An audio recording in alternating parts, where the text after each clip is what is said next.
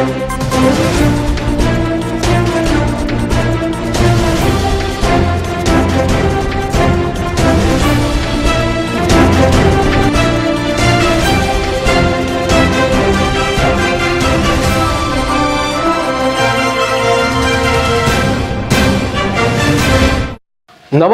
હું છું સંજય રાવલ. સુપરફાસ્ટ સમાચારોમાં આપનું સ્વાગત છે. સુરત ખાતે શ્રી ખોડલધામ ટ્રસ્ટનું સ્નેહમિલન અને લોક ડાયરાનું આયોજન નરેશ પટેલ આવશે. સલમાન ખાનને સાપે ડંખ મારતા મોડી રાત્રે હોસ્પિટલમાં એડમિટ. એપીએમસીના વાઇસ ચેરમેન કોરોના પોઝિટિવ ગામ પંચાયતની ચૂંટણીમાં ભારે પ્રચાર કર્યો હતો. રાહુલ દ્રવિડના મતે દક્ષિણ આફ્રિકા સિરીઝમાં બે ખેલાડી છે, ચિંતાનો વિષય. અનોખું ગામ જ્યાં બાર વર્ષ પછી છોકરીઓ બની જાય છે છોકરો. વૈજ્ઞાનિકો છે આશ્ચર્યચકિત.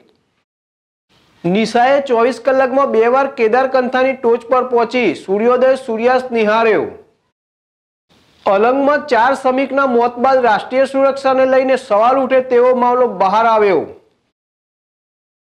માછીમારને સાપ કર્યો પછી ભારતીય તટરક્ષક દળે સમુદ્રમાંથી માછીમારને બચાવ્યો.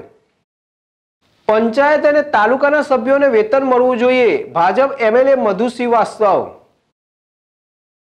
સંઘ પ્રદેશ દીવ ખાતે ખિસ્તી સમુદાય દ્વારા કોરોના અને ઓમિકોમની ગંભીરતાને ધ્યાનમાં લઈને નાતાલ પર્વની સાદગીપૂર્વક ઉજવણી કરવામાં આવી.